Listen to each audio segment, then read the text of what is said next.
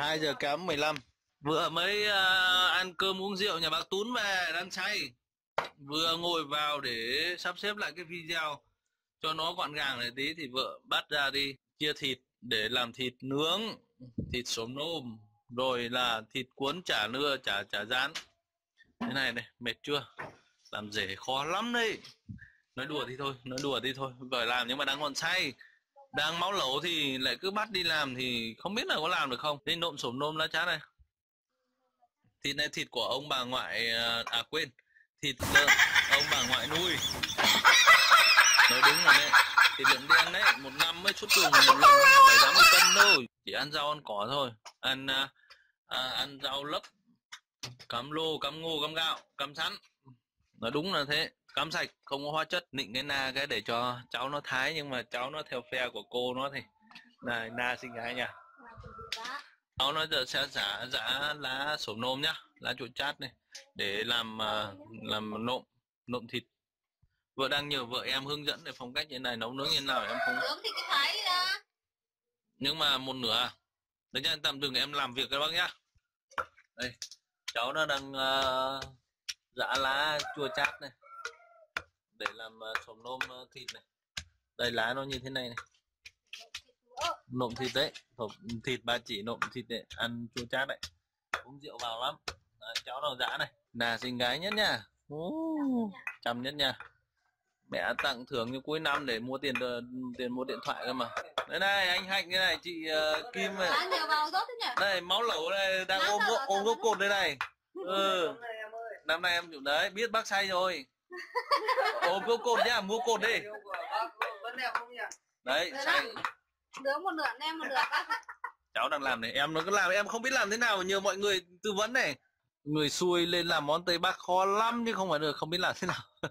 Thái miếng thịt nó như thế nào? Bác hạnh bác bảo là bác say bác định nghỉ để để em chưa biết. mà trong khi em cũng phê phê thì em không biết định hình như thế nào bác hạnh ơi. cấp cứu cấp cứu. cấp cứu cấp cứu Ôi, thế nãy giờ anh em nói chuyện mãi chỉ vì là vấn đề là làm miếng thịt như thế nào cho nó ngon. Đâu, say, say rượu quá, lọc ra thịt lợn mà lọc như thế này các bạn này chắc là làm rể này thì ăn hại hết rồi này. Sai, say về bác Hạnh làm một bát dưa muối, lá tỏi, ăn này giá rượu đúng không? Em cũng nãy giờ em nhá mãi một miếng mà vẫn chưa xong à? cứ quay này em nhá mãi nó không còn không tơi này dài chết rồi. quay sâu lắm. Sâu hối gì đâu. Em say. Chẳng có cái rổ mà che cơ em ạ. Ừ? mang cái rổ cho bác anh em chả cái chậu cho anh che đi. Chả biết thái thế nào. thái mãi mấy con gà này quấy này hai anh em thì tôi cũng tôi cũng say rượu mà anh hạnh cũng say rượu nãy giờ anh em nói chuyện lan man chả biết là, là làm cái gì nữa. Ừ, thái thái nó đi tôi sao ngồi được dạ ờ, xin phép các bác là làm tí nhá bếp đang nấu này. Ok không sao đâu. Gà càng ngoáy này quấy này. Đấy là thịt thịt nướng này. Đây đây hôm nay tôi sẽ làm món uh, thịt nướng hương vị kiểu tây bắc này. Thịt lợn nhá thịt lợn này là thịt lợn đen trên bản. Thịt này một một năm nuôi mới được ăn đây này. Thịt uh, thịt uh, nuôi sạch đấy không có cám uh, tăng trọng đâu. Thì gia vị của món này thì các bạn yêu cầu là thịt các bạn thái miếng ra để kẹp vào vỉ để nướng. Gia vị gồm có này mắc khén mắc khén nhá. Mắc khén tiếng thái mắc khén là hạt vai quả khén quả khén nhá. Rất thơm lá chanh tiêu bắc xả ớt cho các bếp nhá. Gừng bột canh đây, một canh đây. Đấy, các bạn trộn tất cả thái nhỏ, tất cả gia vị cho vào, ướp. Nó khoảng 15 20 à, phút. Sau đó các bạn cho vào kẹp để các bạn nướng nướng trên than nhá. Không phải nướng trên lửa đâu, nướng trên than nhá. Tỏi nó phải thêm cả tỏi nữa này. Nướng trên than nhá các bạn nhá. Nhớ các bạn cho tất cả cái gia vị này vào, vừa phải thôi. Theo số lượng thịt, sau các bạn à, kẹp vào vỉ, nướng lên. Đấy, sau khi tôi bỏ gia vị tất cả này, xả gừng, ớt, tiêu, bột canh, lá chanh. Lá chanh này tôi khô nên tôi băm hơi khó, tôi băm hơi to. Đấy, đây là nhựa nhựa nhựa tù mù Đấy, đây, bình. Bây giờ tôi trộn gia vị và để khoảng 15 20 phút sau đó đem lên nướng vì nướng nướng than hoa nhá. Chi tâu nướng lửa nhá. Đặc biệt là hương vị Tây Bắc là nó không thiếu được mắc khén nhá, vị mắc khén chủ đạo nhá. Vị mắc khén. Đây, ướp tất cả gia vị rất thơm. Các bạn để khoảng 15 20 phút mới đem lên nướng nhá, cho nó thấm gia vị đi. Nhớ là vị chủ đạo phải là có mắc khén thì mới ngon được còn không là nó giống như thịt nướng loại khác rồi. Các bạn nhớ là thịt này phải ờ, nửa nạc nửa mỡ nhá để đảm bảo là nó vừa mềm vừa mềm vừa thơm không bị khô do là nhiều thịt nạc quá. Bạn nhớ. Rồi chuẩn bị chuyển sang món canh. Nồi canh xương ờ, nấu su su thì như thế nào các bạn biết rồi. Còn món này chặt ra để làm món chua ngọt. Đấy, đang chặt thịt. Thịt lợn này là đúng là một năm mới xuất chuồn một lần này. Ăn rau cặp lô cam ngô cam gạo cam sắn. Hết không có hóa chất nào hết đấy không có các công nghiệp nhá. Ờ sườn xào, chua ngọt, không. Rồi thịt lợn đen, cuốn chả. Giờ băm nhá.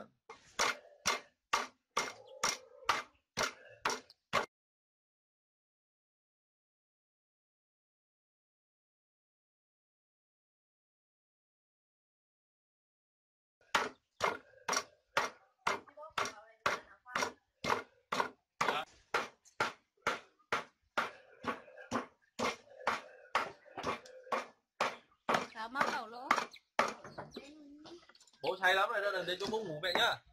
Bố mà nằm xuống. Bơ phát. Ừ? Bơ phát. Đây lá sổm phát này để làm chua với lại à, thịt à, ba chỉ thái mỏng. Thêm gia vị gì nhỉ? Mắm muối mì chính đúng không? Đây nhân vật chính lá sổm phát này. Các uh, thịt ba chỉ này. Như thế này luộc chín này thái mỏng. Thêm à, lá mùi lá tỏi như chị Kim nói thêm gia vị khác. Có thêm tiêu bắc không? Hay mắc khén không? Không đúng không?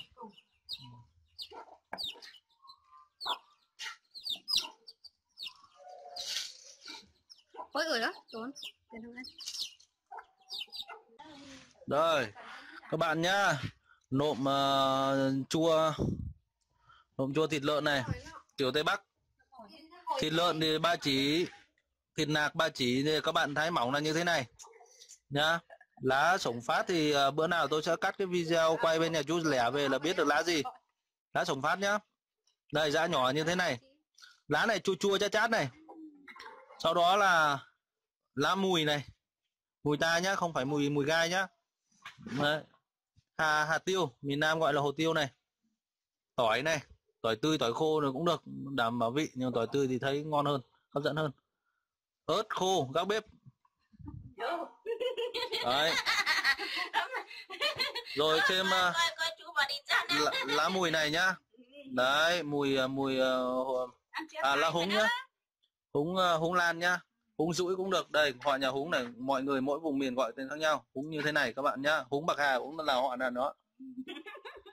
Đấy, tiếp theo là mì chính và bột canh các bạn hòa nước ra như thế này. Theo hướng dẫn của chị dâu là hòa nước ra như thế này. Đấy, mì chính và bột canh. Đúng rồi, vâng. Sau đó tất cả các bạn bỏ đổ lộn hết tất cả gia vị vào, các bạn bóp đều đi. Được chưa? Đây, một thời gian tôi vừa băm ra rau thơm ra thì bây giờ chúng ta sẽ bỏ vào để chúng ta bóp đều lên. Nhưng mà các bạn nhớ là lợn này là lợn ngon đấy, lợn một năm mới được xuất chuồng này, lợn đen đấy. Đấy, một năm nó chỉ nuôi khoảng tám chín mười cân là vừa đủ. Lợn rất ngon. Không béo, không ngậy, ăn giòn. Bạn hiểu không? Bây giờ các bạn ờ, bóp nữa nhá, đổ thêm cái nước này, nước mì chính và nước bột canh nó hoàn loãng ra rồi. Còn cái lá sổng phát thì ở dưới xui không có nên các bạn không biết đâu. Rồi, sau khi bóp lại là nó sẽ bóp ra nó sẽ như thế này. Bạn thấy không ạ? Tôi thử phát xem nó vị nó như thế nào. Nhà bạn nhạt thì, thì mình gia vị thêm. Tùy theo khẩu vụ ờ, khẩu vị của mỗi người là ăn mặn ăn nhạt.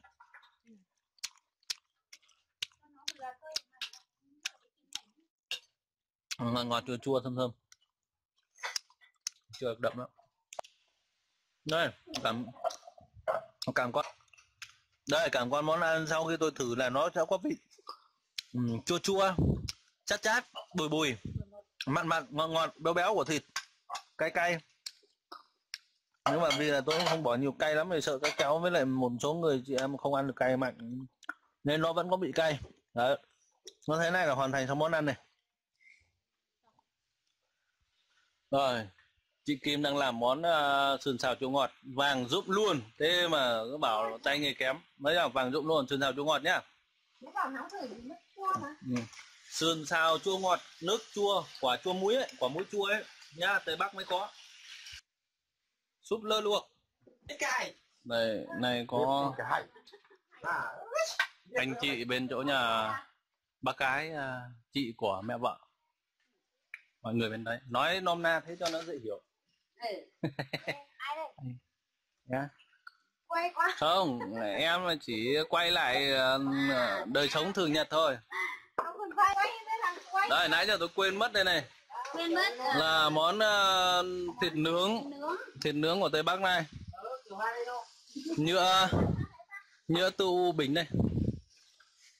Rồi thơm lắm. Phải có mắc khén thì mới đặc trưng của tây bắc được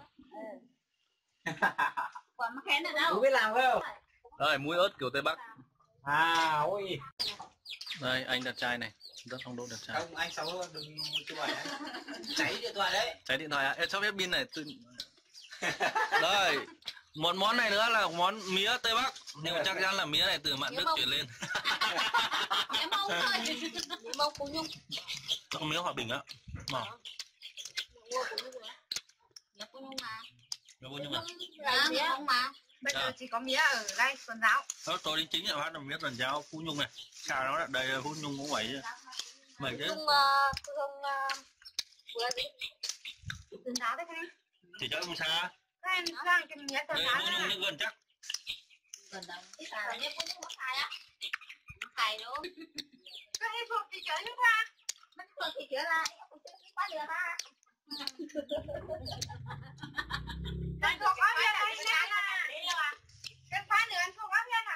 rồi tạm biệt các bác tí ờ, hội ngộ uống rượu nhá. Bây giờ điện thoại đã hết pin rồi